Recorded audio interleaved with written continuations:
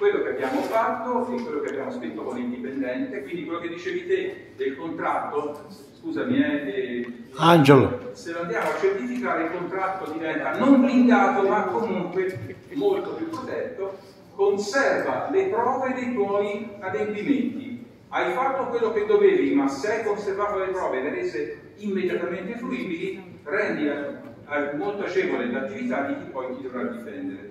Quindi per quanto mi riguarda, l'impresa non deve mai diventare un gigante pesi d'argilla, ma assicurare un sereno raccolto.